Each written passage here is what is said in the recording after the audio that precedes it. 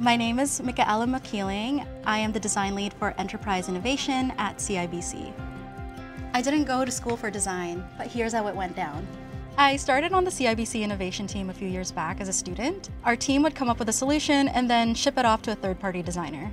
I've always enjoyed designing in my personal life, and my leadership team saw my potential and gave me opportunities to grow my design skills. From designing logos, or creating content for workplace, or actually creating high-fidelity prototypes for our sprints, I am always given the opportunity to develop and upskill.